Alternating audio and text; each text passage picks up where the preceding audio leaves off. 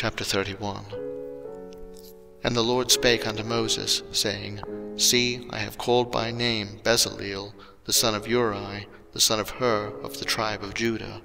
and I have filled him with the Spirit of God, in wisdom, and in understanding, and in knowledge, and in all manner of workmanship, to devise cunning works, to work in gold, and in silver, and in brass, and in cutting of stones, to set them, and in carving of timber, to work in all manner of workmanship.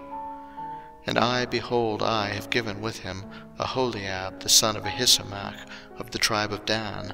and in the hearts of all that are wise hearted I have put wisdom, that they may make all that I have commanded thee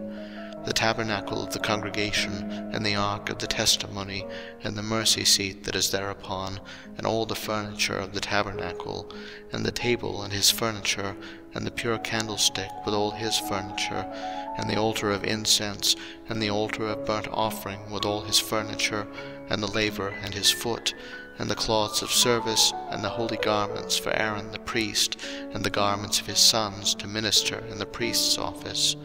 and the anointing oil and sweet incense for the holy place, according to all that I have commanded thee shall they do.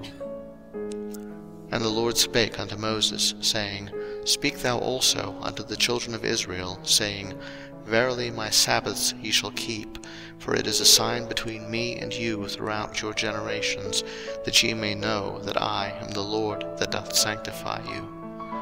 Ye shall keep the Sabbath therefore, for it is holy unto you. Every one that defileth shall surely be put to death. For whosoever doeth any work therein, that soul shall be cut off from among his people.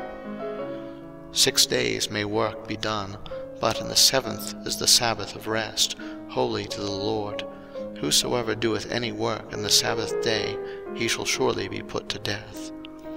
Wherefore the children of Israel shall keep the Sabbath, to observe the Sabbath throughout their generations, for a perpetual covenant.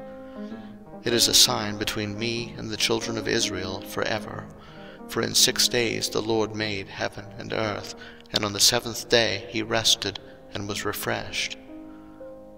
And he gave unto Moses, when he had made an end of communing with him upon Mount Sinai, two tables of testimony, tables of stone, written with the finger of God.